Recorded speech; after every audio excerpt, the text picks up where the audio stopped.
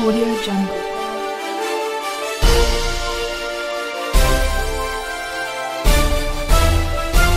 Audio Jungle.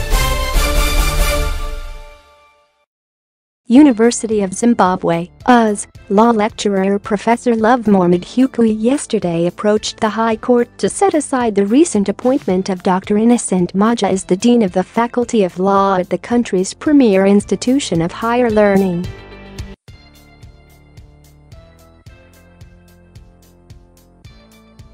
He wants the court to direct that he be appointed as head of the faculty instead, or, alternatively, that the interviews for the post be redone.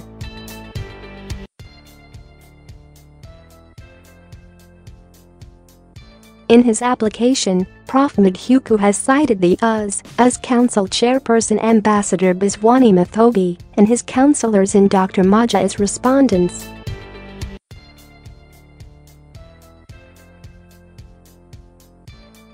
The respondents have 10 days to respond to the suit. Prof. Madhuku reportedly failed to impress the interviewing panel led by UZ Vice Chancellor Prof. Levi Nyagura.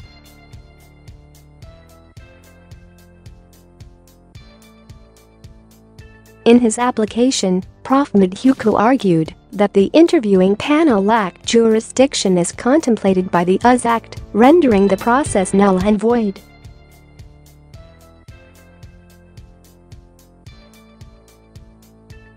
Accordingly, its decision not to appoint the applicant, while at the same time appointing the ninth respondent as Dean of the Faculty of Law of the UZ is illegal, null and void, and of no force or effect, said Prof. Madhuku.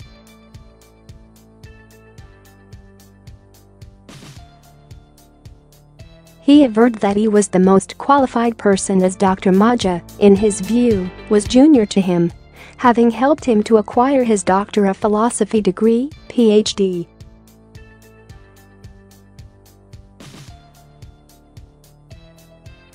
He argued that Dr. Maja was still on probation, hence, could not qualify to be dean.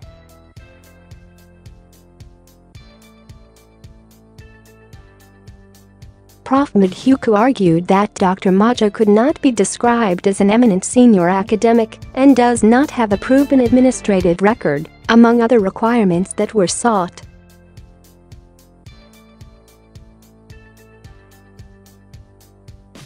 He said Dr. Maja had not sufficiently published in internationally recognized journals.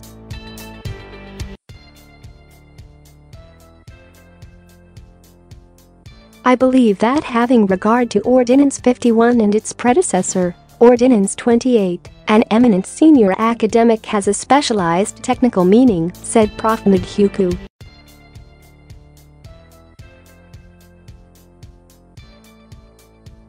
It means, at the very least, an associate professor or full professor. Dotto and a reasonable consideration. Therefore, Dr. Maja cannot satisfy the mandatory requirement of being an eminent senior academic within the contemplation of Section 3.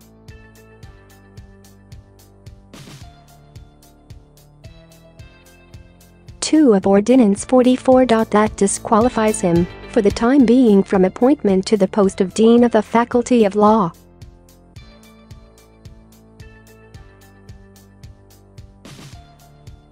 He ought not to have been interviewed for the post. And that point alone, his appointment can be reviewed and set aside.